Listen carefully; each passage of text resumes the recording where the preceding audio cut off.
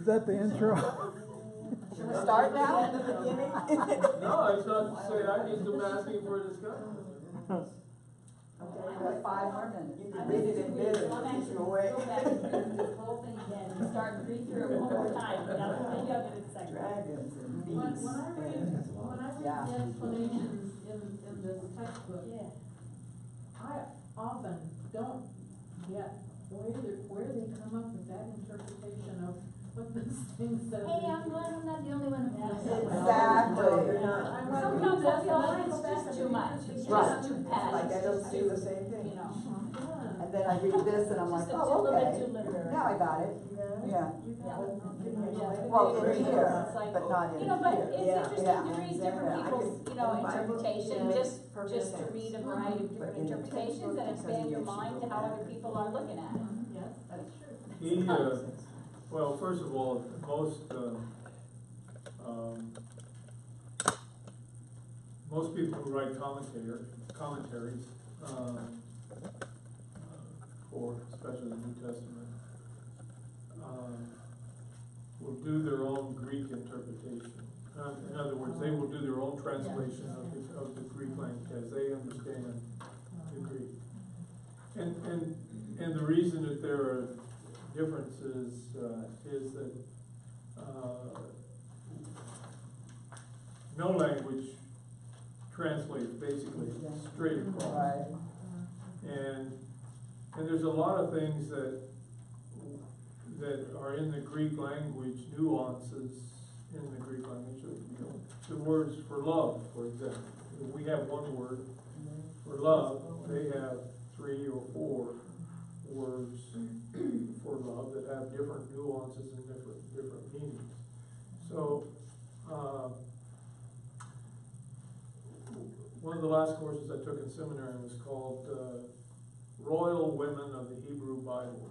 I think I've told this story to some of you. And in the class were, uh, four of us who didn't, uh, didn't know Hebrew, and then there were, uh, five or six who were Hebrew speakers and, and, uh, translators, but they came from different places. One, uh, one of the persons had grown up in Russia, another, other persons came from Israel, another of the persons had just been in the synagogues in the United States. So, their, their backgrounds. And, and so when we would sit down with a passage, we were asked to compare. And, uh, it could have been a story about, you know, one or two of David's wives and Jezebel and, and, you know, the different wives of the kings, uh, in Hebrew history. Yeah, plenty of them. Oh, is there? I mean, I promise not to, uh, wave my arms much. Uh, But every time we would sit down, these, even the, those who translated, did their own translation of the Hebrew, would come up with a little twist on the story, and what was happening in the story. You know, and, uh, there was always some differences. There was rarely any time when there weren't differences in the trans, the translations that people make. You part of the reason is Hebrew doesn't have any vowels, so you can have the same cons- consonants for multiple words. So how do you determine what that word really is? Well, they go back and see the context in which it's been used. And maybe it's been used in this context three or four times, and in this context once. And, and so, you know, it becomes very elaborate to do that, that translation. That's why when you look at the front of your Bible, you'll see a list of a hundred people who are involved in the translation of, of the Bible, because it's a real, uh, extensive, extensive task. Uh, And, and so that said, that's why, you know, you have different translations. But if you, if you look at the commentary, this- this you wanna go ahead and buy the three hundred or six hundred dollar book or whatever you wanna do. I think so. Uh, They were out of, Or six hundred. uh, they were out of stock. They are out of stock, everything that you get is, is used, I mean, it- What's a photocopier? Yeah. That's about the only way you'll probably get one.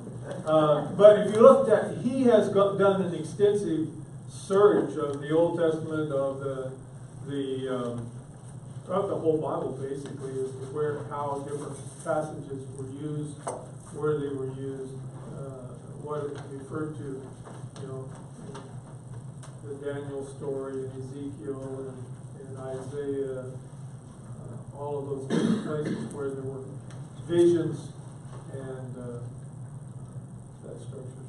You can start, George. Oh, I already started.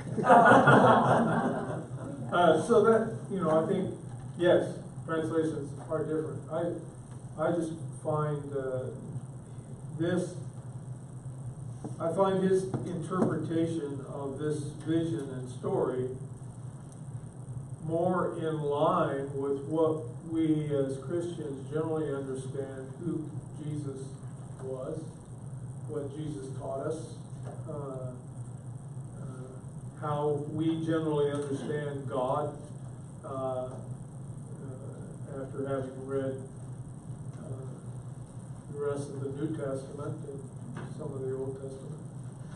Um, So, I think his understanding and interpretations help support the gospel message that we normally read in other places.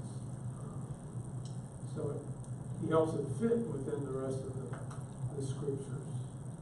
And I don't think he really manipulates to do that, I think he's just, he translates maybe in a different way. And he's looking for the benefit of the church, not necessarily for the benefit of the future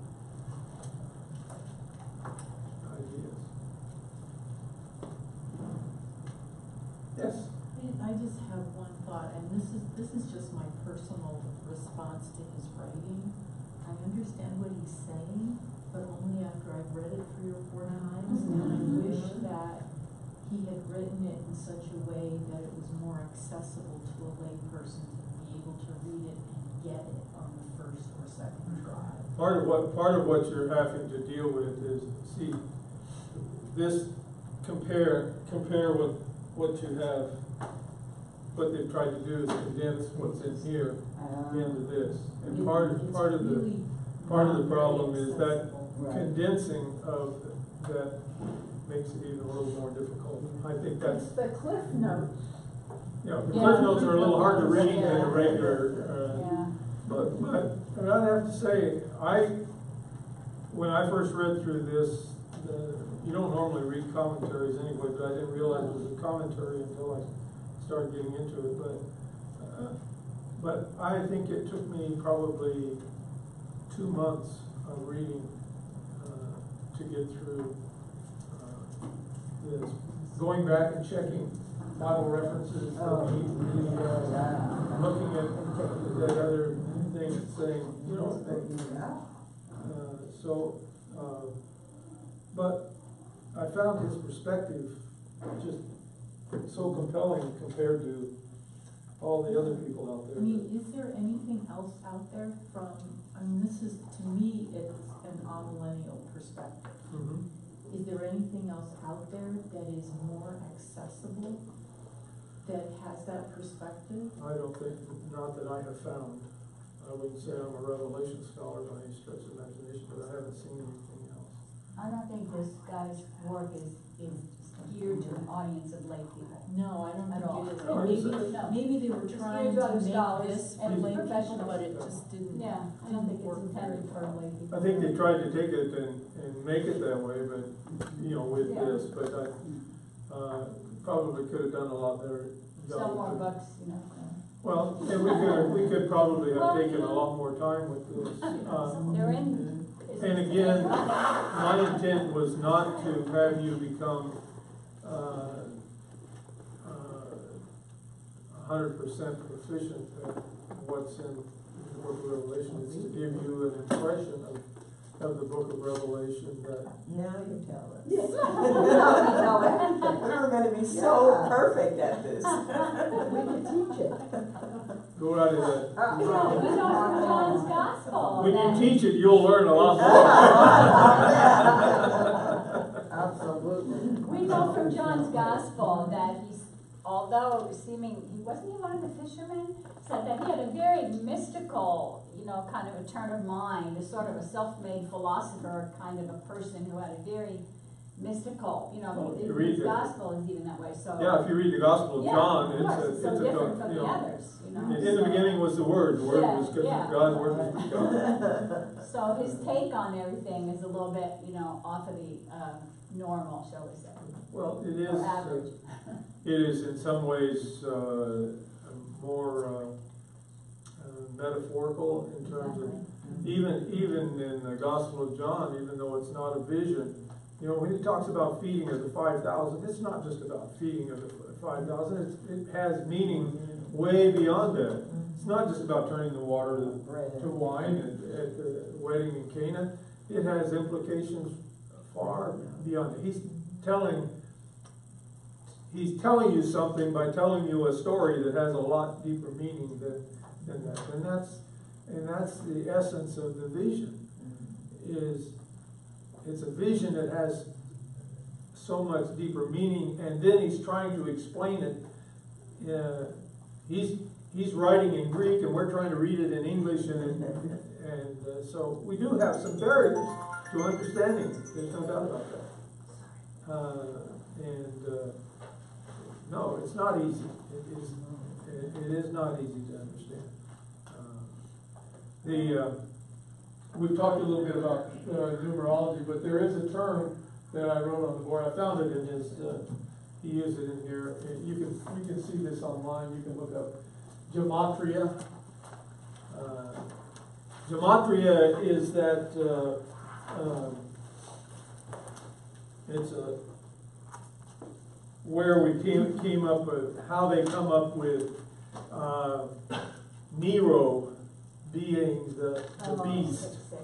They assign numbers to the letters of the Greek, of the, uh, uh, Hebrew alphabet. And then, uh, you, uh, you take a name and, and, uh, total up the, the, the numbers and whatever it comes out to. So supposedly, Nero's name, depending upon how it was spelled and how it was used, either was six six six or six one six, and that's that's how Nero got to be pointed as whoever the beast was. But the reality is, the beast is really a lot more than just Nero. It's, I mean, there's two beasts, as a matter of fact, we've talked about the false prophet and the, as well as the beast from the sea. But the, um, the beast is, is not just a, a personage, but it is um, a whole system uh, behind uh, behind who Nero was and, uh, and the system of the Roman Empire. Uh, you could probably throw uh, just about every empire into the beast category. Oh, yeah. Uh, Think of the Spanish Empire, the British Empire. British Empire. I mean, every empire. to be the beast. every empire has a beastly uh, persona. Uh, people get ground under the feet of, uh, of, of empire. Um, even those who are members of empire get ground into the machinery of, of empire. So that's that's the, the nature of it. Uh, Manifest destiny, we're in that too. we're in the midst of the destiny, the manifest destiny associated with that, yes. And that's a point other than the I think a lot of that is the, black and um, white. Yeah. that as society, depending upon which society we're in, if we're in the US society, I think that in some things within our culture, that we become desensitized. And you start to accept, or some people accept some things where other people say, wait a minute, that's wrong. And I think where that is the message that parallels the, everything must change. And see, I'm still looking Well, at it's that. connect, it's connected. And, and the message in here and the application to modern day society, you know, where are we headed? And also within the church, with the Methodist study that we had done earlier, Mhm. uh, you know, are we doing what we're supposed to do? What we're called to, Right, or did we get swallowed up into the, the wealth and the greed and the materialistic things and forget what's really important? let me read, uh, this passage from, uh, and he's, he's referencing, uh, chapter thirteen, verses nine through ten supposedly is where he's referencing, but in the contemporary world, the beast is incarnate in the pervasive worldview of the so-called naturalist, naturalistic humanism, we talked about that last week, that shapes human life and society. The naturalistic aspect, I can't even talk tonight, of this perceptual framework views human existence set within a closed system of cause and effect. This tends toward a reductionistic understanding, yeah, he does use some big words, doesn't he, of human life. Human life is to be understood primarily in biological terms or chemical terms, or as a part of the evolutionary process, or in sociological terms or anthropological terms. Come on now, in physiological terms. The humanistic aspect of this perceptual frame of reference claims ultimate human control over the destiny of the race. Do we have ultimate human control? And the planet. Here is humanity seeking to build a city for itself with a tower whose top is in the heaven. Here is humanity seeking to make a name for itself. Here the dynamics of Babel are incarnate once again. The dynamics of fallen Babylon, which reject God, the creator of the natural order, reject humanity being created in the image of God as the center of human wholeness, and rejects the realm of God as the matrix for a just and peaceful human society. See, matrix is another word for context, the, the, the background, the framing story, the uh, essence, in, in other words. So, uh, whenever we leave God out, we, we're jumping into another uh, matrix. To the extent that the church adopts the values and methods of the naturalistic humanism as the means of its life in the world, to that extent, it has been compromised and subverted by the beast. When the church adopts administrative styles and structures that dehumanize persons, it has been compromised by fallen Babylon. When the church becomes more concerned with its preservation than its witness, it has been compromised by fallen Babylon. When the church becomes a defender of the status quo in the face of poverty and injustice, it has been compromised. When the church is more concerned for its comfort than its confrontation with the destructive powers of the beast in the world, it has been conquered by the beast. When the church baptizes the destructive values of the world and adopts them as its own, it has been subverted by the dragon. When the church becomes more concerned with appearance and public relation than with the witness of Christ, it has been compromised by fallen Babylon. John's readers in the Roman province of Asia, as for Christians today, this context of the church's existence in the world gives far deeper dimensions of the church's involvement in Christ through the Eucharist. In the Eucharist, the church encounters the living Christ, whose presence proves the dynamics of the church's relationship with God and the church's life in the world. The Eucharist calls the church's values, structures, and dynamics into the presence of Christ, where they may be seen for what they are.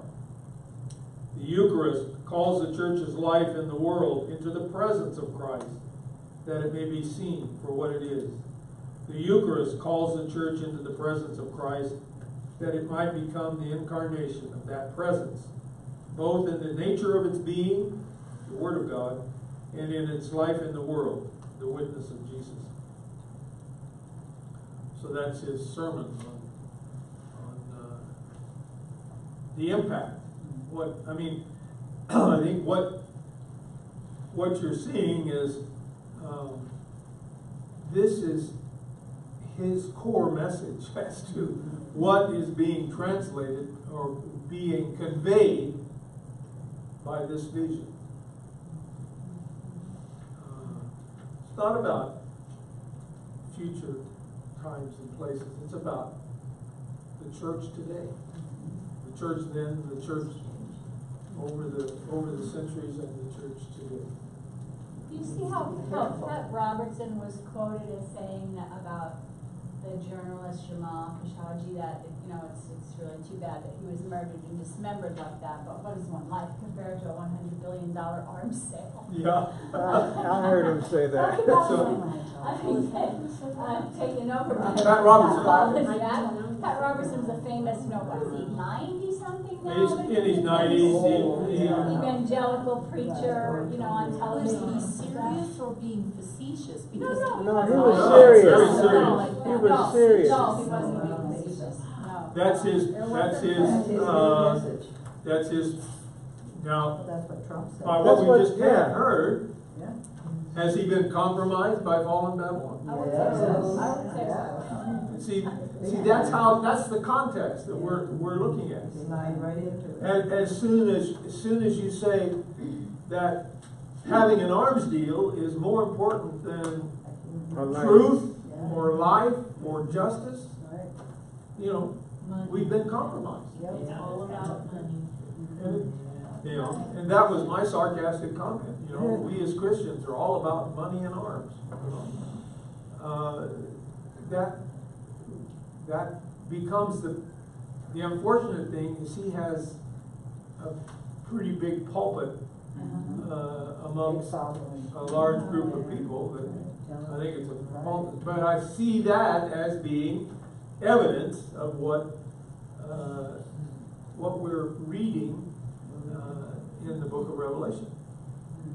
And I think if, if, if you begin to see that as you read it, it'll begin to, to say, well, I see how this is taking place today. I see where this is. And I can guarantee you that the church has adopted and tries to.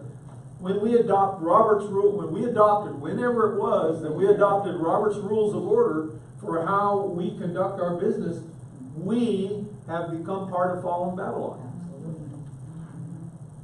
Because what is what is how are we to, to operate within the church? We're, we're, we're to work with consensus, where everyone has a voice, where the, there's not winners and losers. We all participate in the decision-making together, and we, uh, you know, we become a body in terms of that. In the process of discernment. It becomes a process, yes, uh, uh, with a consensus, you have a process of discernment, discerning what, what is God calling us to do in this situation. May involve a prayer, uh, prayer night. You may, you may not, That's uh, why you have to stop. we have a, we have a, a, um, sister church who is going to use our facility next month for, um, an evening meal, and then they're going to do a prayer vigil till six o'clock in the morning. Wow. Uh, And, you know, I don't know what the vigil is based on, but obviously, there, there's something going on that they're serious about praying. about When is that? Direction forward. Pardon? When is that? Next month. When? When? I think it's the sixteenth of November or something like that. Oh, so it's after the election. Yeah, it's, it is after the election. Good point. In November. But, no, it's, uh, they're, they're basically, uh, I'm just, this, I don't know what the background, but- but they're, they're, they have, they presently don't have enough room for their church to gather and have a meal and do that, and so that's why they're using our facilities for that night. But I'm just saying, that's, they're probably doing some discernment, uh, in terms of prayer and that sort of thing. So, you know, there's a lot of things that we need to look at in terms of the church and say, are we actually, are we being faithful? Uh, He uses the term, I think, in this session, that we are called, chosen, faithful. I mean, that's, that's who belongs, that's, that's the criteria for New Jerusalem. Now, who is not called? Nobody. Okay, Well, you're good Methodists then. No, I, I believe, I believe that's true. I, I don't believe it. I believe everybody receives a call. And I mean, basically, all are chosen in some fa- fashion. Here's where we, Not all are here's, faithful. here's, here's where we have a problem. Some of them don't pick up the phone to answer the call. Some of them don't pick up the phone to answer the call. You're absolutely right. That's a good Yeah, one. that's a good That's a very good one. Yeah. That's exactly right. don't answer the phone. Or they may answer the call and say, I don't want, I don't want any Yeah. goodbye. Right. Listen.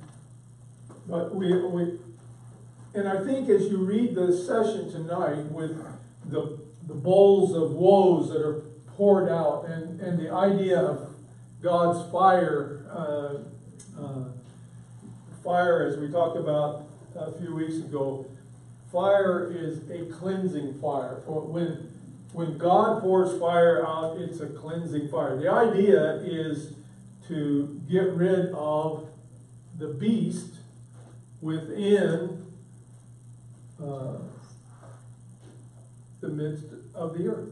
Uh, the, I think one of the things, and I know this is difficult for me, and I, I'm sure it's difficult for us, uh, is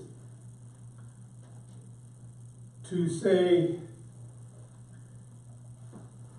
that cleansing fire is not to destroy us or even those who are participating in fallen Babylon.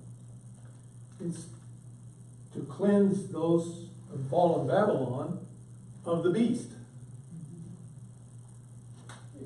It's to remove that unholiness, to uh, to cleanse them of that so that they can become citizens of, of New Jerusalem. So I, I think that, and maybe I'm tinting the, my understanding of that by also believing that it's God's will that we all, that all of God create, God's creation be enfolded in New Jerusalem. That it's God's will for all of creation to be part of New Jerusalem. But those who are worshiping the beast, and when the beast is part of that, when fallen Babylon is part of who people worship, then they can't be part of that. You, he says in here pretty plainly that you're either a citizen of New Jerusalem or you're a citizen of fallen Babylon. There's no dual citizenships.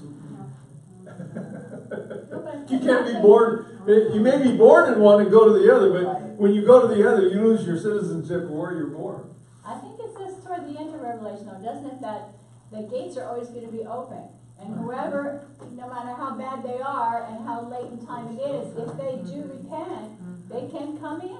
I, I, I, uh, I think when we get there next week, that's exactly where, where it is. And that's what he's, that's what he's saying in the, in the session tonight, that, that, that, that, that all of that stuff that's happening to fallen Babylon is in an attempt to move them into a position to become members of New Jerusalem.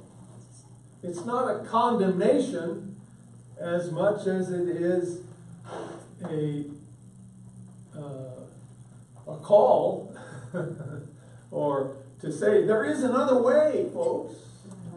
Uh, and, and maybe that's one of the places where we who are in New Jerusalem have failed to live out that gospel in such a way that others see it as another way.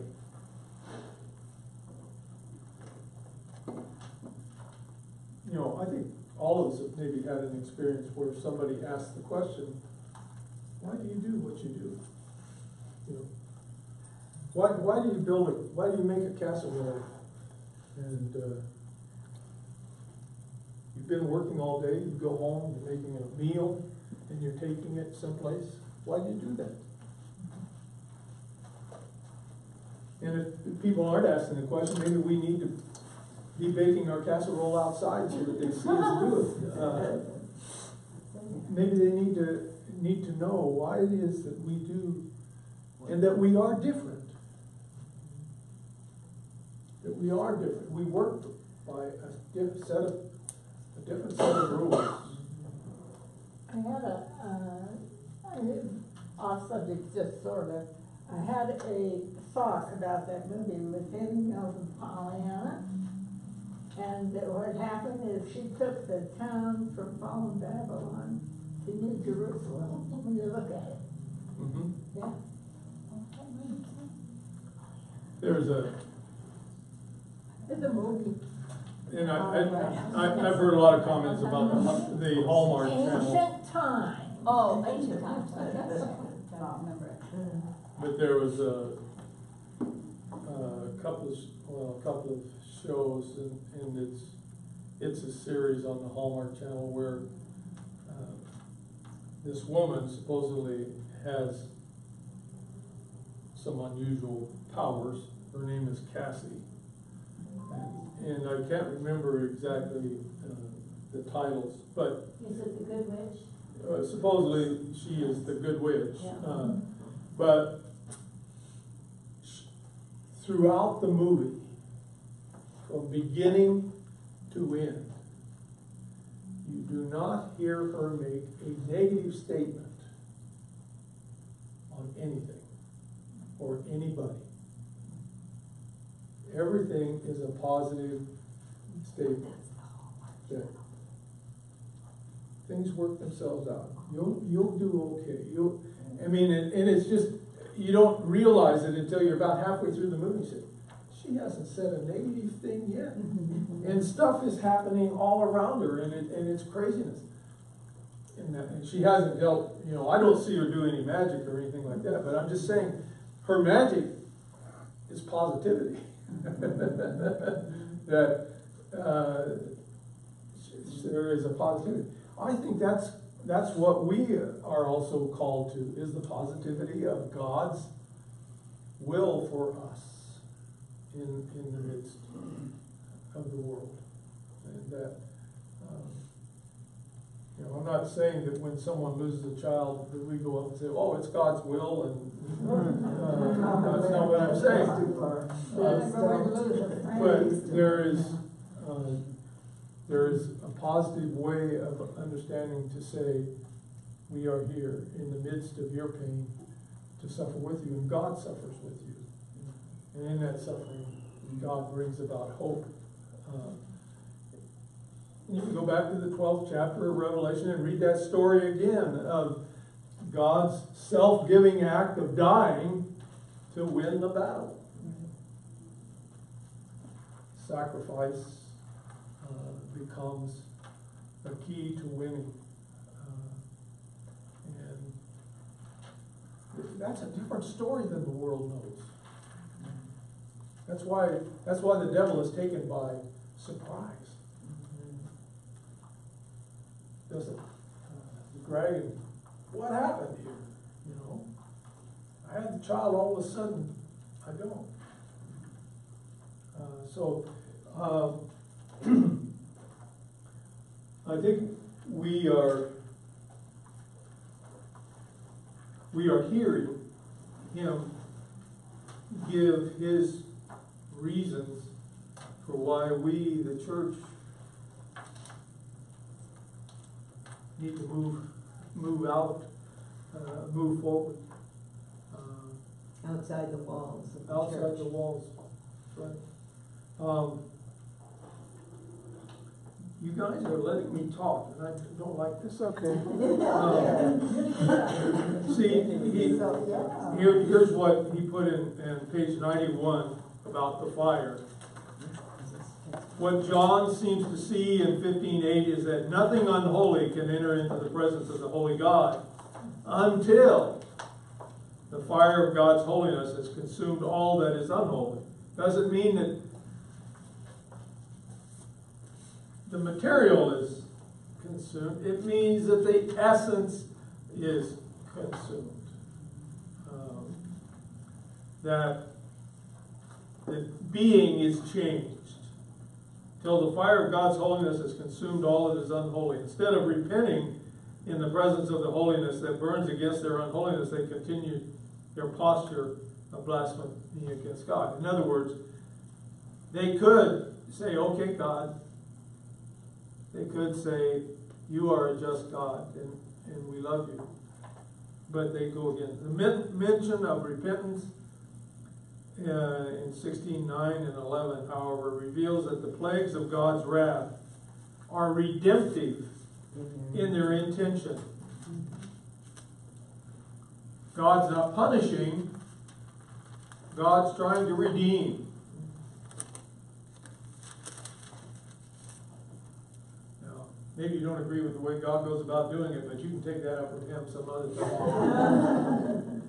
This is, this is one, um, instance in where someone's personal translation of the Greek, it gives us a new wrinkle on this, because I don't think I ever read before, except in the mortal wound, how the beast or whatever had a mortal mm-hmm. wound in one of its heads, and that is a very different concept from a plague. Yes. And now he brings out that really the, the word in the Greek would be more typically used for a plague. Yeah. And that's a real, uh, sea change of a difference in meaning. Could be more of a thorn in the, thorn my in the side of the beast. So that's a very worthwhile insight, worth the price of admission alone for me, you know, to hear a different take on that translation like that. Well, the- the idea that- insight. his, his point is that New Jerusalem becomes that thorn in the, in the side of the beast. You know, if, if we're doing what we need to be doing, that it's gonna cause a reaction. Uh, At least it's gonna cause the beast to scratch a bit, you know, uh, so if we're doing, uh, what we're intended to, the fire of God's holiness is the fire of God's love. Uh, I think there's, uh, many contemplatives who talk about and write about the fire of God's love. That God's love is both comforting but also inspiring and uh, cleansing. Uh, and we, we read that in other parts of the scripture. But so, but it's it's not meant as punishment. It's meant as redemption, as healing, and that's a different perspective, I think, than than we we hear about about this story. Uh, the fire of God's holiness is the fire of God's love, which seeks the cleansing, healing, and wholeness of the beloved. To those who respond, the holy love of God becomes a cleansing, healing, transforming presence. To those who reject the fire of the love, the holy love of God appears as a tormenting plague of wrath. Perspective, huh? Perspective. Um, the, um, on page ninety-two, uh, he talks about name. And why is name important?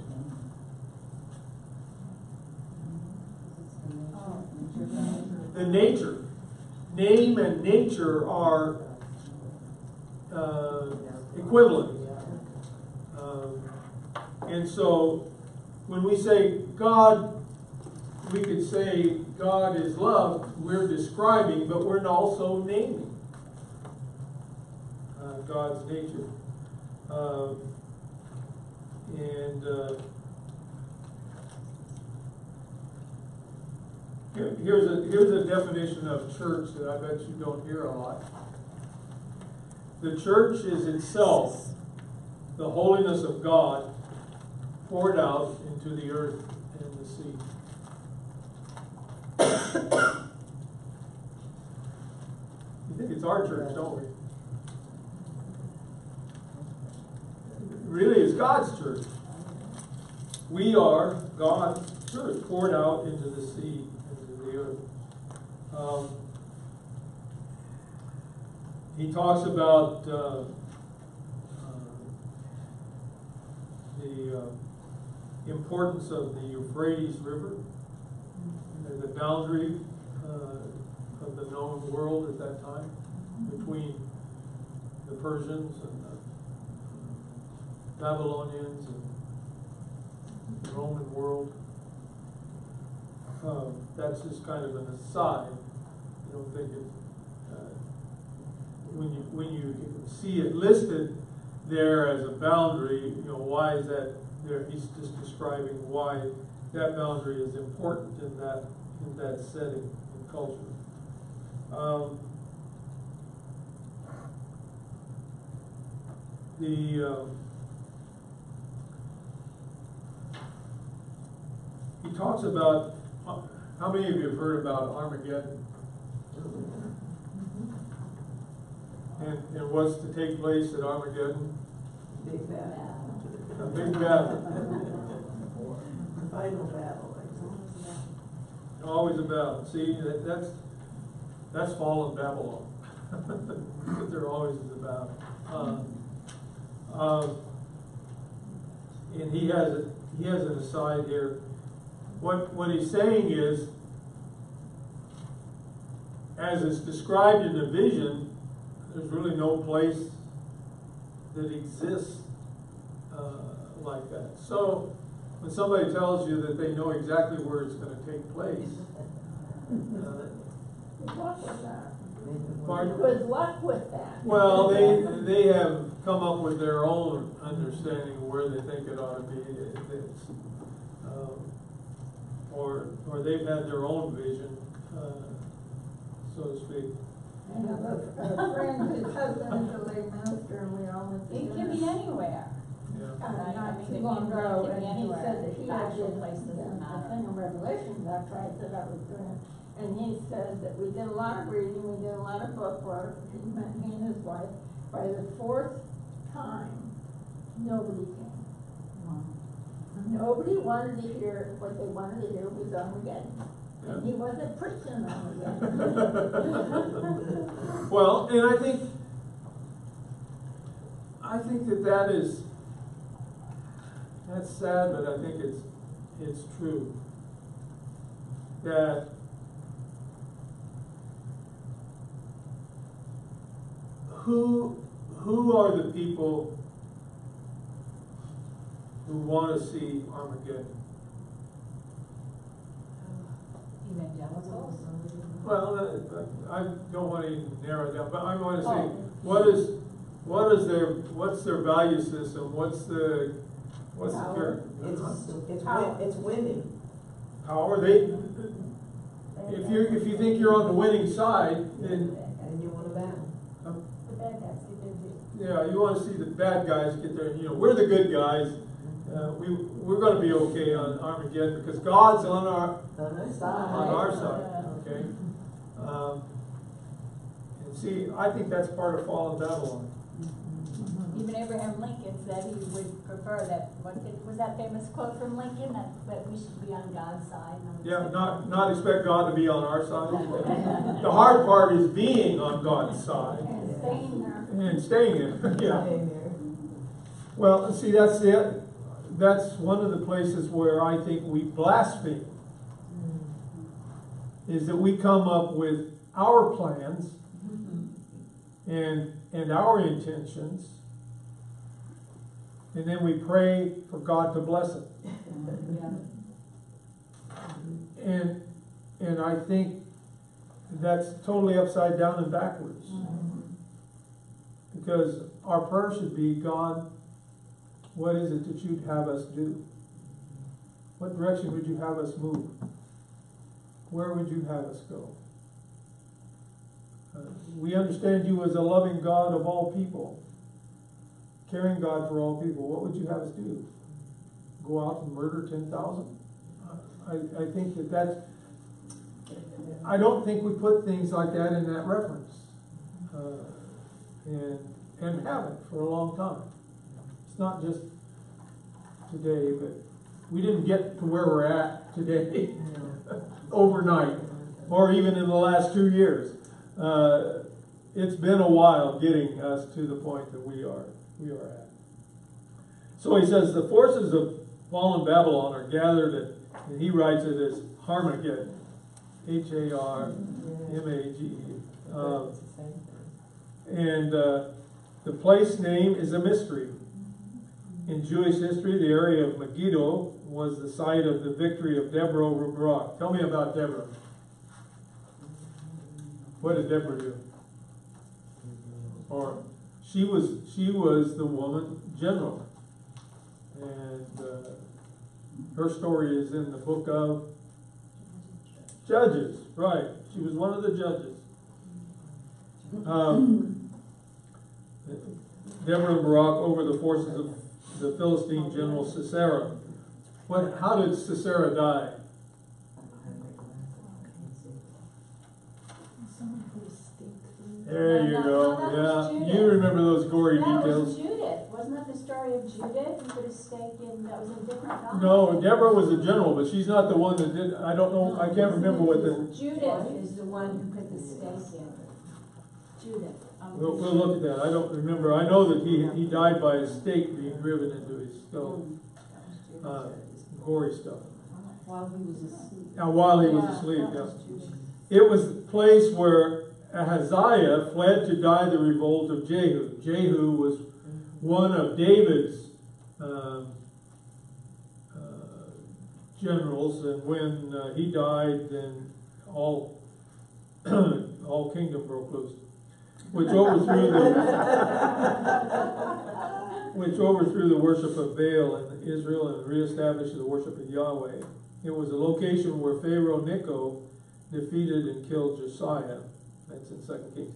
If the word is pronounced with a rough breathing, this is what uh, Linda was talking about, Armageddon, uh, as most Greek texts suggest, then the Hebrew would mean Mount Megiddo. But no mountain is near Megiddo. Although Carmel, where Elijah defeated the prophets of Baal, is in the distance, it is given a smooth breathing Armageddon. The Hebrew would mean Megiddo city, and there was such a place near the plain of Esdraelon. This location is one where decisive battles have been fought for millennia. The battles of Pharaoh Tutmosis III in 1468 to that of Lord Allenby in First World War. If the vision focuses upon the mountain, the most logical mountain near Megiddo would be Carmel. The vision has already used the image of 42 months as a period of rebellious orders activity against God's people. One of the focal forerunners of this image is the three and a half years under Elijah, when there was no rain. This period of drought and tribulation for Israel was caused by the institution of the worship of Baal, or Baal, by Jezebel, eh, and was brought to a close over the victory of Elijah over the prophets of Baal on Mount Carmel. So, see, I, I, I read that only to, to show that how deep you have to dig into the history of uh, not only Judaism, but everything that's happened in that part of the world to, to determine what's trying to be said there. And uh, never, uh, never how long is, how long is 40 years? A long time. How long is 40 days? A long time. When you haven't eaten, 40 days is a long time. Uh, what the, um, the great voice from the throne proclaiming it is done portrays the now not yet reality of God's response to the rebellious order. Uh, there is a part of, part of our faith that is, uh, a done and not yet done, uh, part of our faith. We, we know that there is the crucifixion and the death and the resurrection, but there is, and that has been done, but then there is a not yet. There's still, uh, the game is still going on. Uh, The chess game is still being played. Um, God's purposes in the rebellious realm have already been accomplished, even though the realm continues to exist. And, uh, um, now, the agony of defeat. Well, the, all these two chapters, I don't want to go into too much detail or reading these, and I would invite you not to get too drugged down into the details so much as to understand that fallen Babylon is defeated. Defeat takes place. That there, that there is a the idea of the beast, the essence of the beast, is destroyed at some point in time. When that occurs, we don't know. We have a sense that the beast continues, but the beast, the beast has been defeated. So there's uh, that ongoing. Here, when we get to to chapter eleven, we have another woman show up. Um, the harlot. Uh, how many times in the Old Testament do you think Israel has been called the harlot? A lot. And what did, did it mean that they were all going out and having sexual encounters? No. What did it mean? Meant that they were unfaithful to God, that they, they had, were worshiping other gods. They were worshiping Baal or what a, you know, gods of the Philistines, gods of, uh, other countries. Uh, and so, the, the idea of, of, I think I shared this last week, fornic- the idea of fornication, the idea of whoredom, uh, harlotry, all of this has to do with worship. It has to do where we place our trust. It has to do with where where we're placing our faith. Uh, and uh, uh,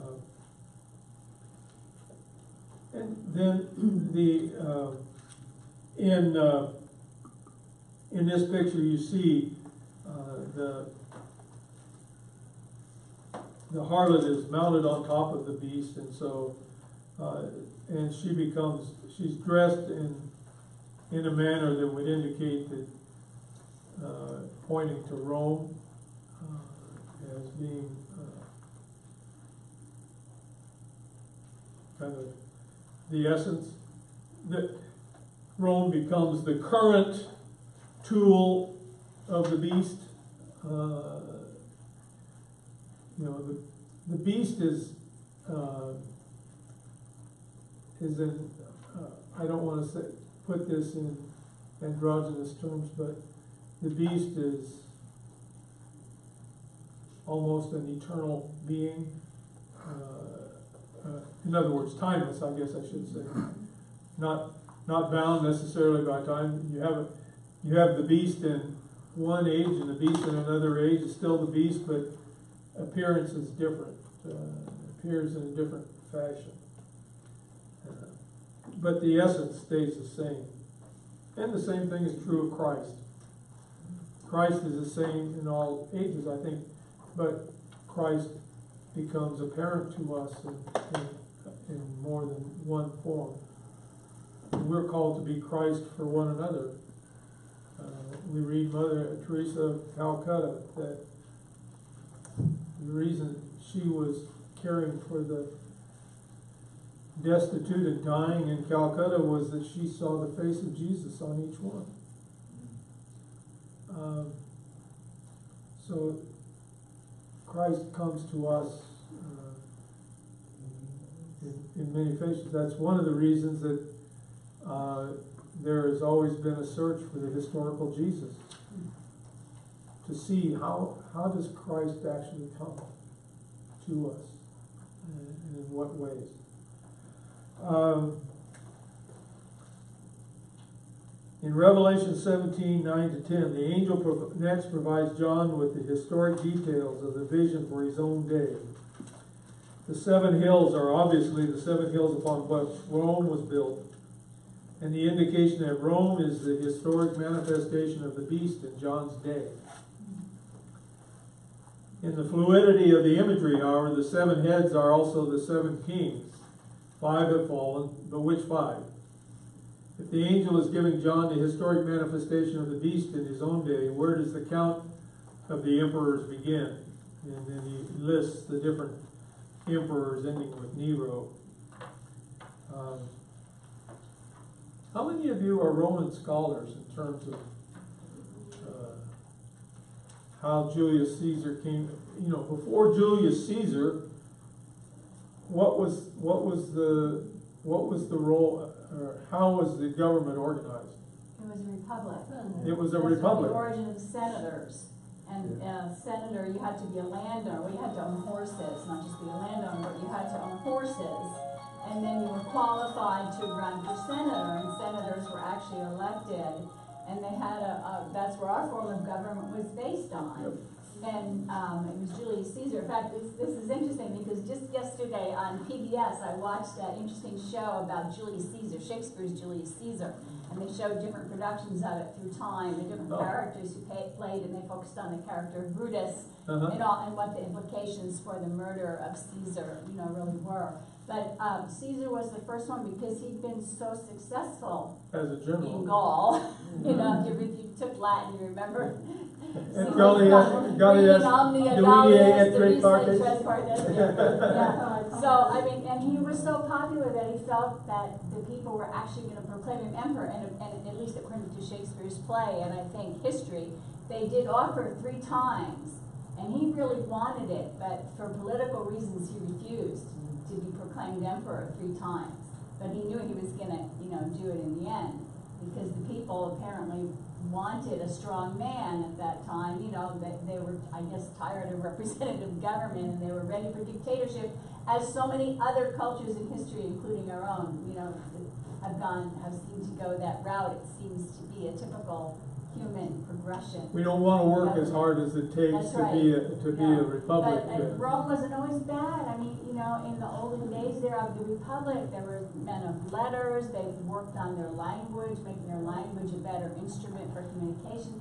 The Roman matron, the mother of the family, women were very highly regarded, you know, in their role of mother and, and head of the household and so forth. So Rome started out, you know, having many great cultural values and everything kind of just deteriorated as they gained more and more uh, powerful military men, not of course just Julius Caesar, but Mark Antony and Cassius and others who were that went Well, all of the these- military route and they were very popular and they conquered many lands and you started having this political situation with these powerful men that were jockeying for, you know, for the top um, position. And that's basically all of these who are listed, Caesar Augustus, uh, Well, that was and later on, all, yeah. all of the, all of the killings that went on, family members and, and, uh, everything else for Augustus to be in power, uh, is, and, it seemed to continue for Do you remember your I Claudius, all the history of all the murders that Murders, went on oh, yes. So, it, it was, uh, it's, it's interesting for them, you know, at, at one level, they, uh, they were very, uh, generous in terms of allowing people's religious, uh,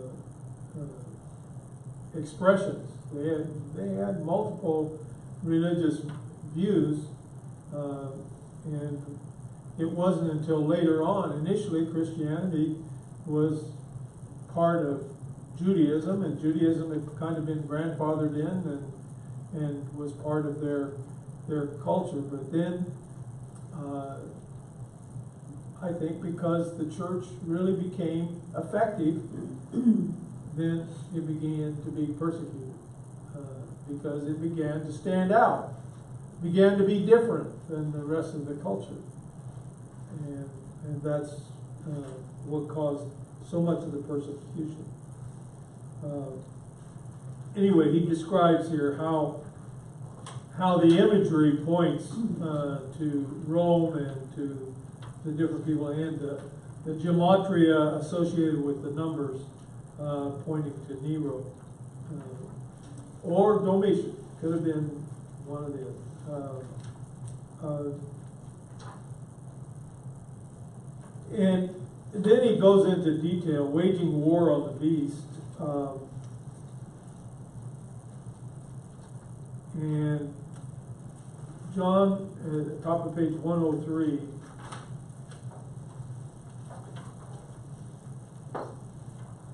John likely sees here again another angelic representation of Christ. No other angel in the vision has great authority. Several other figures are given and are allowed to have authority, but only God and Christ possess authority. The attribute of brightness of glory adds to the likelihood that this angel is Christ. Every other use of the word glory for a heavenly figure throughout the vision is associated with God or Christ. the attributes of brightness have been used repeatedly for John's vision of Christ. Therefore, this angel is probably Christ. The vision now expands on the condition of fallen Babylon, which was introduced in 14.8. Two new dimensions are added. The first element of fallen Babylon is the dwelling place of demons, the prison of unholiness.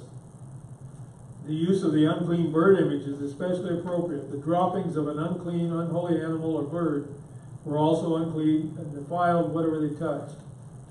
The implication is that these unholy birds flying throughout Babylon ensure the unholiness of the entire city. The second element introduced into the picture of fallen Babylon is the political and economic dimensions that were hinted at in the image of the third rider. Remember, the third rider is the the one who had economic destruction, uh, had carried the balance, injustice, so on and so forth. Uh, there, the, there, the poor were kept at subsistence level, uh, but the wealthy were unaffected. Uh, the political power structure becomes an incarnation of the beast by setting itself up in the place of God. The economic dynamics reflect the rampant consumerism of a mode of life that has no sense of stewardship, but only possession. And he talks about of course, in the in the uh, vision, the kings have all had fornication with the whore, right? So kings are all bad. Uh, the merchants, the merchants are all out to get what they can get, and uh, the seafarers, those associated with the sea, lament the loss of Babylon's virtues because they don't have anybody to trade with anymore. Uh, so, uh, and then he does a flashback there. But this basically just shows the, the demise of fallen Babylon. And uh, when uh, I would I would invite you to uh, let's go to page 107 at the at the end.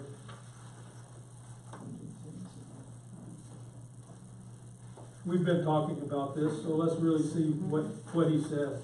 And, uh, somebody want to read Discerning Babylon in Our Midst?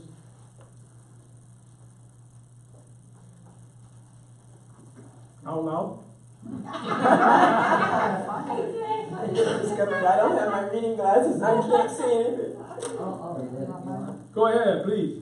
Paul recognized this condition of human existence when he wrote, Our struggle is not against enemies of blood and flesh, the historic human structures of evil, but against the rulers, against the authorities, against the cosmic powers of this present darkness, against the spiritual forces of evil in the heavenly place. Ephesians chapter six, verse twelve. Uh, John and Paul put their finger upon the only sound basis for Christian action in a world dominated by the horrors and abominations of Babylon. The church must have the discernment to realize the true enemy and to enter into the struggle, not employing the methods and perspectives of fallen Babylon, but those of New Jerusalem.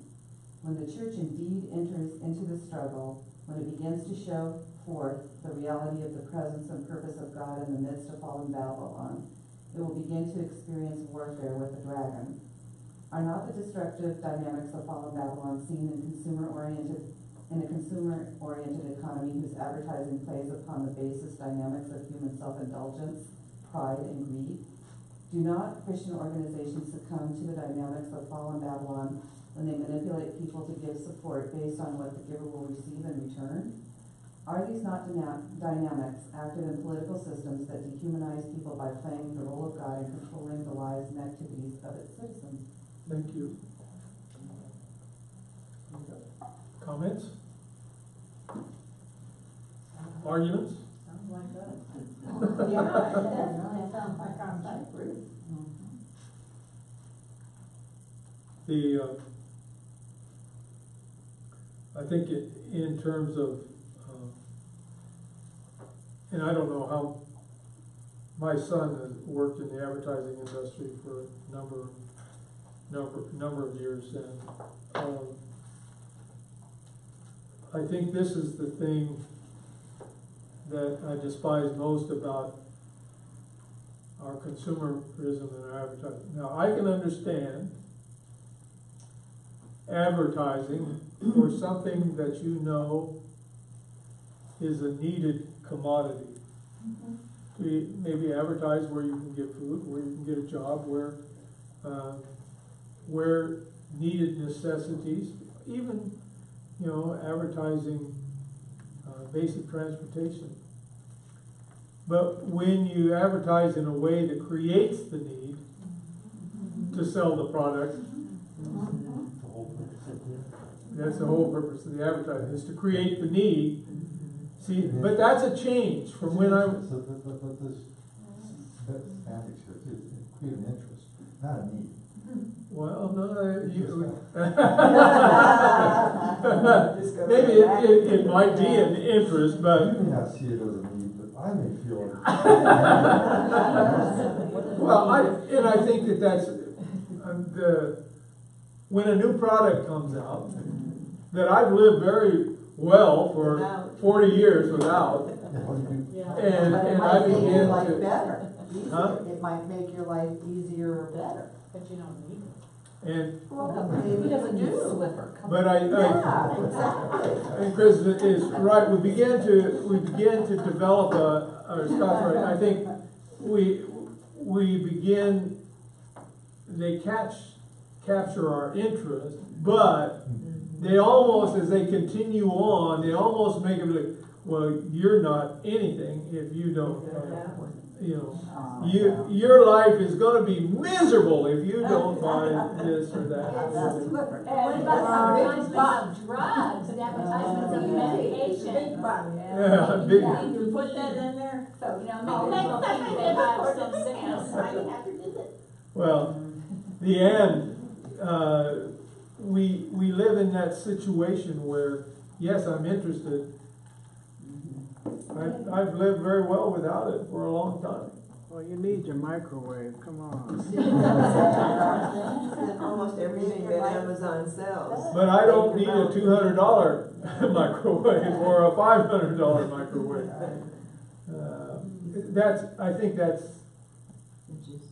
uh, The ones that get me are the drug ones, for they're That's supposed to what- make that's what- advertisements of initials for every single thing, most of which is somebody always has, but they develop the drug.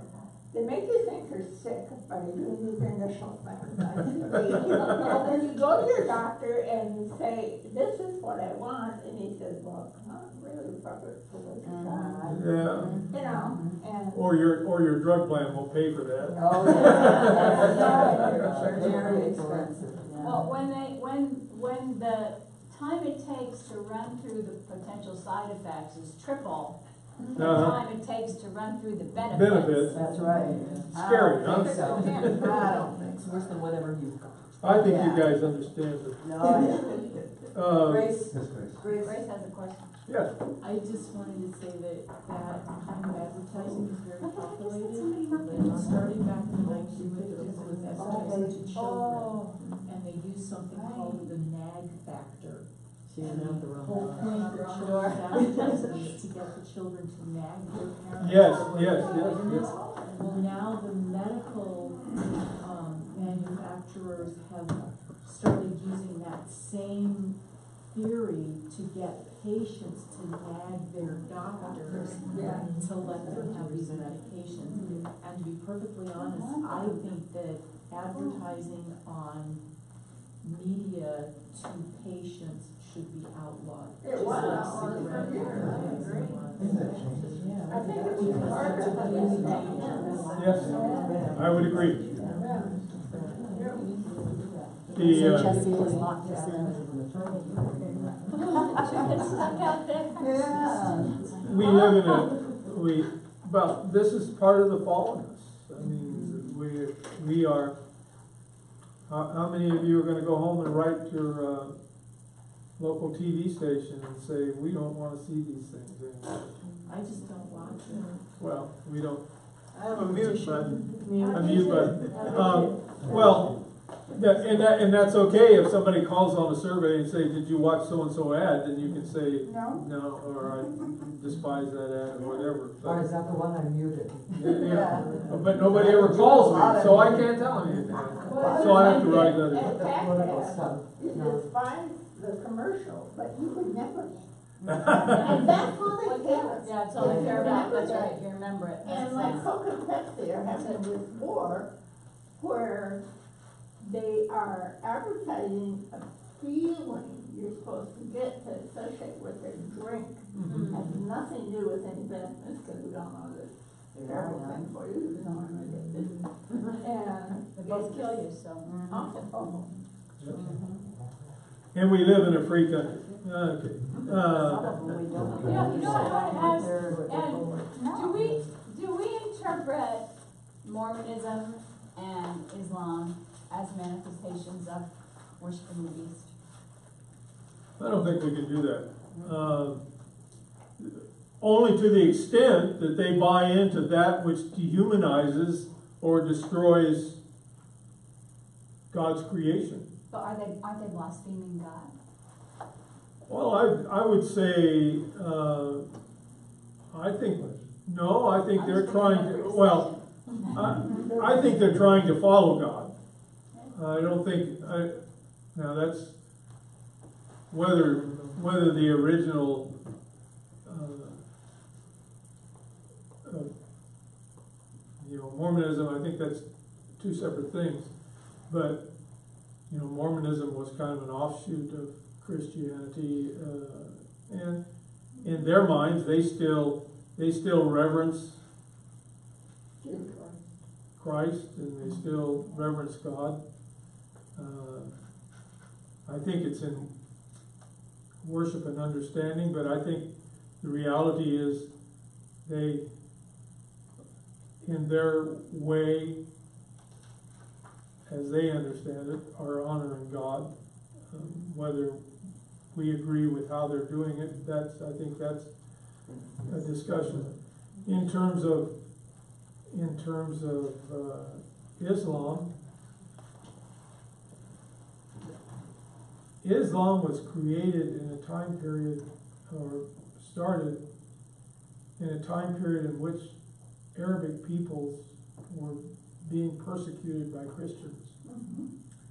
And that was the, the, um,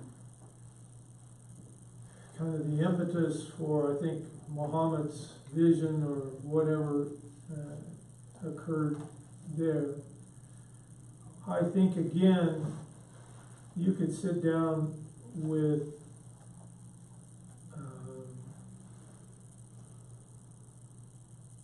with core mainline Islamists. And you could almost have this discussion with them, and they would understand that fallen Babylon is Is us. well, no, I don't necessarily think that they, they do. I, I think, I think where, where we get into trouble is the fundamental fringes, uh, of both of our, Yeah, uh, religious. is what we're going. And I'm, and I'm saying, not just right side, but left side. Uh, we fall off the edges.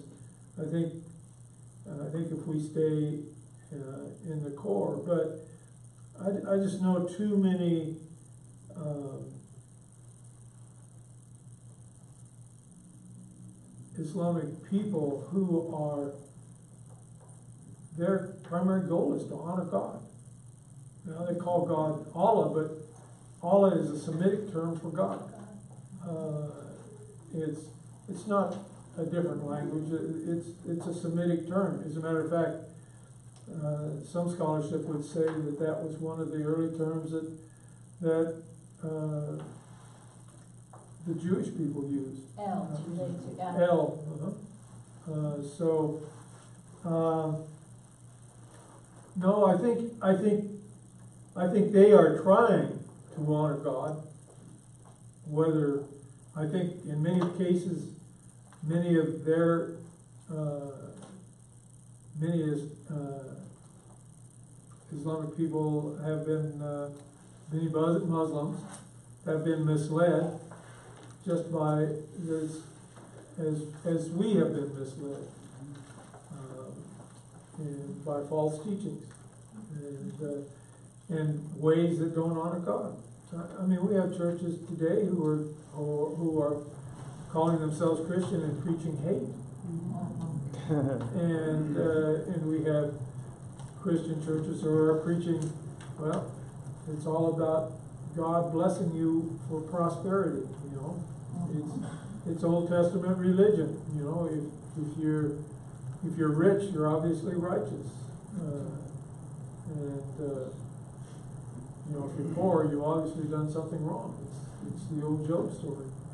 So, um, you know, I, I, I don't see it in, in terms of religion, but I, I think that they can, they can see fallen Babylon around them just the way we see fallen Babylon around us. I heard a statistic that Mormonism and Islam are the fastest growing religions in the world today. And they are reaching out, that's right. I wondered if they were just, you know, being, ama- you know, the beast and the dragon is amassing hmm.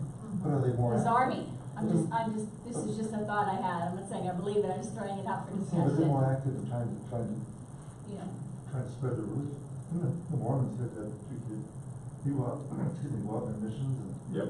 they're phenomenal. The way, Yep. the people- the way their families are, and there's a lot of things to look at. Really. Mm-hmm. There's a lot of positives, there's some negatives, but there's a lot of Have positives. researched their at all? Everybody. How they baptized their ancestors mm-hmm. into Yeah. I know the nothing about it, I just. Oh, okay. Well, you may- you might wanna look up their theology, it's Well, I- somewhat frightening. Yeah, I think there's- I find it frightening. Yeah, I don't think, I think that's, that's not the point, I think, I would agree with you. I, I don't agree with the theology, basically, the theology of Islam or the theology of, of Mormonism. But I do think that in, in their way, however they understand it, they think they are honoring God. And- Individual people. Yeah. And, uh, Don't you think that applies to all the world, the major world religions? Well, I think that's kind of what he's saying here. If we, if we move out and say, let's, let's honor God, and let's not, well, we had the same problem when we came to this country. We had, we had native peoples who understood that there was a creator, mm-hmm. that there was someone who, who brought the rain and someone who was responsible for all that was created before they arrived. Mm-hmm. And they honored in whatever rituals that they did, and they get, and we call that pagan, mm-hmm. because we fail to understand. So, I think in, today, we've learned in mission area that you go to an area, uh, and you sit and watch and wait with the people like Paul did when he went to Athens. And you say, oh, yeah, here's, here's who God is. Let me tell you about who God is. You, you're worshiping God, but let me tell you a little bit more about God. And, and you begin to help people understand that you're, you're both uh, in the vein of worshiping God. You've just chosen different ways to do it. I have a question then, so how does, and I'm, pardon me, because this is our first class we've taken, so maybe you've covered this, but so then, how does the belief or the non-belief in Jesus Christ, how does that play out in these other religions and, Well, my, my, my feeling is that, my, my understanding is that we have taken portions of, of the gospel and made it exclusive, where it was never intended to be exclusive. Uh, you know, you can take the passage in John, you know, where no one comes to the Father except by me, but you can also look at a passage where he says, in my Father's mansion there are many rooms. What does he mean by that? Does he mean he has other peoples that uh, he is uh, God to? Uh, is there a place in God's house for many different peoples? I, I think what I'm hearing through this is the idea is we are called to honor honor God and, and to accept God's existence and to also accept part of the following is in being faithful is uh, is kind of getting a sense that God wants all of God's creation enfolded. And we don't do that by by division and dividing out and exclusion. We do it by including and then helping understand. Uh, you know, I can't I can't teach you about God unless you're willing to invite me in to to, to, to teach about God. And that's where mostly the church has been failing over the past few years. We've not been doing a very good job of placing ourselves in a position where we can be invited in uh, to say, this is what I believe. And, and I don't believe God condemns everyone. He condemns certain acts, and he condemns certain acts because they're destructive to all that he created, or she created. And that uh, God, God created in a loving way. And God's love is in the midst of that creation. Um, and that's when we talk about the beast and all of this, it's that which is destroying all that God created. Um, and, uh, you know, which includes animals, uh, includes The pollution. pollution, uh, I mean, it, that's, and again, I'm, I'm gonna be open enough to say, yes, I'm preaching a bit, but I think that my understanding from my study of the gospel is that, uh, Jesus wasn't, was not exclusionary. If someone said, I wanna follow you, he didn't say, well, you gotta follow me exactly this way. well, I guess what I'm asking is because a lot of times, you know, I don't know, I I grew up in a different, thinking a different way. But I guess, and it's always been a, call it a contradiction for me, because I, I was raised where it was like, if you don't believe in Jesus Christ, you, you're, you're not getting to heaven. That's, Right. that's how I was raised. Uh-huh. And And, mo- and mo- probably, Most of us. and most of us were. and, but then I've always wondered about that. How about people if you live in, I don't know, some really remote area of the planet, which I know there's not too many places like that anymore, but where you're not exposed to that? Because I'm always thinking, God is a loving God, then why would he, like, why would he exclude people that we're never exposed, you know, to that. And, and that's, that's part of where, where I'm coming from. I don't think Yeah, God does. I don't. does. Could it, could it be that when Jesus said, no one comes to the Father but by me, he's referring to his own death and resurrection? Not necessarily to the individual's knowledge and understanding of that death and resurrection. And then when Paul says, is, I think it's in Romans, that even those who have never heard the gospel are without excuse because they see God in the creation Right. around them. It's not condemning them so much as it's saying everyone has this, this understanding that there is a God out there, just like you talked about the Native Americans recognizing that there was a God and valuing the creation.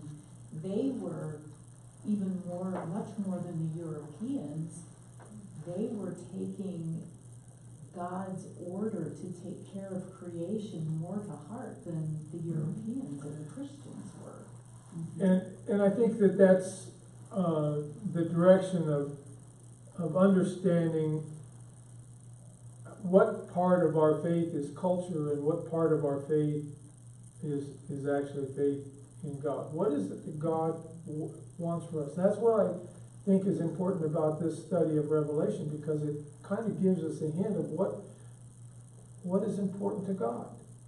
Uh, God saw that creation was important enough for God to be self-giving. Uh, and uh, for God, you know, when we see the story of the child being being snatched and then or being taken and then snatched back, and uh, uh, all of that uh, being a mythological story that describes who God is uh, and uh, how much, uh, to what extent would God go to redeem even his fallen angels?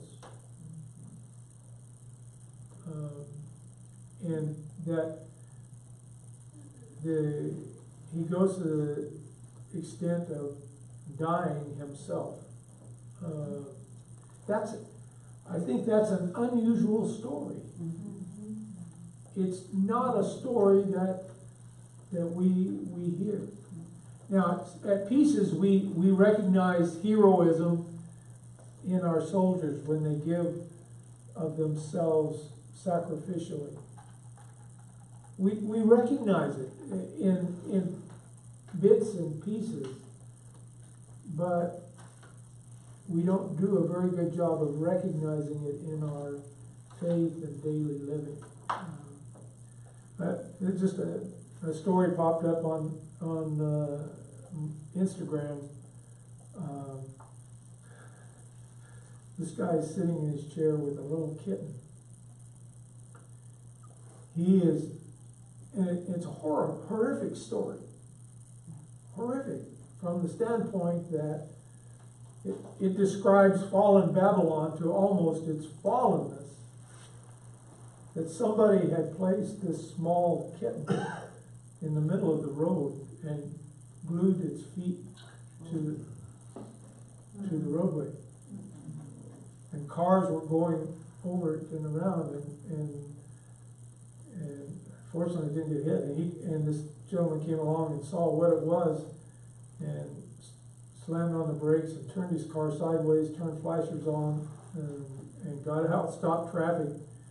And, uh, I don't know how he extracted the, the kitten from, uh, but he said it wasn't something that the, the cat had walked through something sticky and then was glued. It was, uh, glue had been applied to uh, the feet of. And, and so, you know, here's a hero, I think, in terms of his willingness to, that was pretty dangerous act in the middle of the roadway for, for a small kitten. And, but that's the act of, that's how important, I think God, that's a God-like act. Like the bunny in the fire. Yeah, just, just, just sacrifice, uh, uh, and there's stories like that, stories like that, the story of the, the Velveteen Rabbit, you know? and, I uh, hate that It's over. All it It's says to over me done. is the parents were not involved with the child. Well, but the idea is, uh, how, how do we? Bad nanny. Okay, all right. But, but we get, that's how we, we get warned through love. Uh, And, uh, so, I don't know, I had a lot of kids that had a rabbit that looked like it'd been drugged through a knothole. Uh, because they held on to it for a long time. So, uh, I, I think that I like where you're going in terms of saying, we wrestle with this, and I think that's part of our faith journey, is wrestling with those things. Um, I don't think it's cut and dried, if it was cut and dried, we wouldn't need faith. Uh, We'd know the answer. But I'm sure within your life, there's been, there's a story that says, God touched me in this way. And most of us who have have walked this journey with Jesus for a period of time, we know that God has touched us in some, some certain way, uh, that, um, is meaningful, that says, yeah, that points to the gospel, that points to the God that I believe in. I think it was easier to believe that if you did certain things, you were gonna go to heaven, than it is to actually do God's work. And that is where the rub came. Because You're saying religion is easy, it's faith that's a difficult. Exactly. And also one of the things with uh, the, um, the Muslim church, it's so strict in some ways that they feel like they can get to Nirvana and all the virgins. So it's, you know, if I'm real strict, I wanna get there regardless of what I do. Yeah, there's, but we have the same thing Yeah? We have the same thing within Christianity in Oh, yeah. terms of how, how we feel. Well, that's And that- that's why, it's- why I say, you know, religion sometimes is easy, but, but faith is really difficult. Uh, and, uh, the, uh, it's a difference. The. Now that you've distracted me and we've gotten off track, It's all your fault. so, before we leave, next week is our last one. Pastor Robert, Yes, You said earlier, uh, you- you're either a citizen of New Jerusalem or a citizen of Fallen Babylon. So I just think that those three words of the call, the chosen, the faithful. mhm, Um, it seems like, to me, we don't, we don't have to do anything to be called, we don't have to do anything to be chosen, but we have to be faithful. We Yes. have to be faithful. right. So if we make one mistake, do we drop into the Fallen Babylon, or No, where can we, how, how can we what, what is it, what is it, what is an act of faithfulness?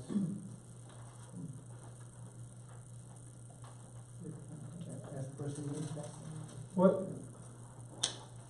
what is, uh, what's the difference between being faithful and being successful? Successful, you, you earn, you're like, you're supposed to earn it, aren't you? Well, it mean, it means that you do enough right so that you become You're successful. talking about convenient grace where you don't have to do anything. Well, you have prevenient grace, but you also have sanctifying grace where you, you know, prevenient grace is God bef- going before you and, and being present before you even get there and doing things where you're not aware that God is even involved. And then all of a sudden you realize, hmm, God's presence. And then you begin say, okay, God, I see you there. And then, then you move into the category of sanctification. You say, I, I want to follow. But then you, you begin to walk forward. Uh, but God doesn't abandon you in, in that aspect. God continues to pour out God's Spirit of of grace upon you. And so our sanctification becomes kind of our working together with God in the midst of uh, trying to be faithful. Do we backslide? Do we fall? Yes. Are, are we perfect? No. Uh, the, the idea of being faithful is, first of all, persevering, continuing to try to keep our eye on the goal. Uh, in other words, focus on Christ. Uh, continuing to try to learn more about what it is that God wants in our life. Uh, and, and you continue trying to do that till you don't have breath any longer. Now, does it mean that you're gonna change ten people's lives, uh, convert, or, uh, introduce ten people to Christ? A hundred people to Christ, or nobody to Christ? Uh, you know, if you're faithful, it means you're continuing to keep your eye on Christ and do what you feel Christ is calling you to do.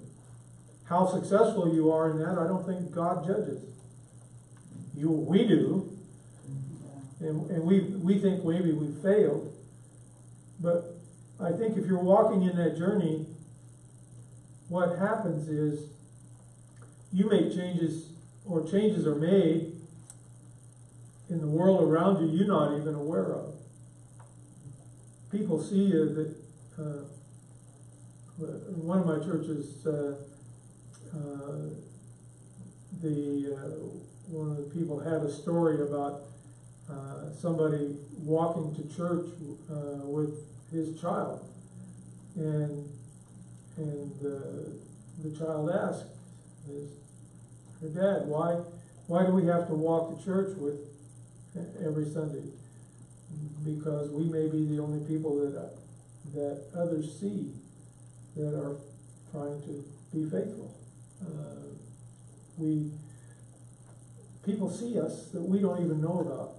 Uh, and, uh, um, and so we don't witness just by what we say, we witness probably ninety-nine percent by what we do.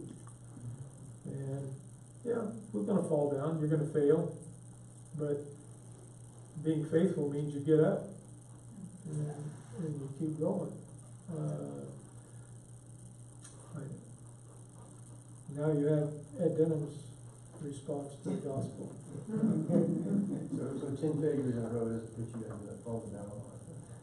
Probably not seven times seventy. uh, You know, Uh, uh, you know, look at that forgiveness, uh, passage, you can put the things, you can put faithful in the way of forgiveness. Uh, you know, we can fail seventy times seven, and, and if we are continuing to try to keep God's focus in our life, I think we're trying to be faithful. And I think that's what, that's what God calls us to do. Yes? Very short response to sort of your question. Somebody asking, why do you go to church, okay? Somebody asked me, somebody, people who work for me, a person who worked for me asked me that, why do you go to church every Sunday? Because I was in a, a place that was open on, uh, seven days a week, and so I had to work sometimes on Sundays, and I didn't like that, and I told them that. And so why do you, why do you wanna go to church on Sunday? Well, what I said was not probably the best thing I could have said, was, I might kill one of you guys if I didn't. That's what I said. But, you know, you know, that probably was not the best response, but at least he knew I went to church. And that's- Well, and, and it means that the next time, you know that there probably could have been a better response. Yeah, So right, you, you work exactly. towards having a better response. What response. would I say? What would I, what would I say? The next person at the. I think that was a good response. And I think that that's, that's the point. I, we all gonna fail. There's no doubt about that. Uh, if, if we didn't fail, there wouldn't be a fallen Babylon, and we would all be in New Jerusalem, it'd all be over, okay? But the reality is, we're in the midst of trying to be faithful. And growing. Trying to be successful, same thing. Well, I, I don't think. Just failing- keep seeding that sod, would you? Failing's okay. He didn't tell you that he writes commercials. Uh, I, I don't think failing can ever put you into fallen Babylon if you believe in God. I agree. but you're never gonna just kind If your of focus is- somehow You'll do never something be bad, comfortable and whoop, you're gonna be down there and fall in Babylon. As long as you believe in God. Yeah, the key is you don't give up. The, the key is, Right. What if I'm- the idea of faithfulness is that you don't do it one time and quit. Uh, Whether you're successful or whether you're not, you don't quit, you know? It's the next time and the next time and the next time and the next time. And, you know, the reality, look at, how old was Abraham when Abraham was called? We don't really know. We don't really know, but he was an old guy, you know. And, and the the reality is, you may be infirm, um, and not be able, to well, you know, Stephen Hawking is quote unquote, maybe an atheist, you don't really know. But he didn't quit. I mean, he was faithful to whatever he was faithful to. That's faithfulness, even in the midst of, you know, inexorable odds, you, you continue. That's, that's the importance. My, my camera. Bye-bye. My camera says it's running out of power. Yeah, I'm running out of power too. Thank you. Go in peace, may the peace of Christ be with you. We're also with you. Are we gonna have communion next week? Ed, it's your turn. Yes, sir. Are we gonna have communion next week? Sure. All right. Oh, good. Great. We like that. What kind of bread? The good unleavened. Anything but, but Santa.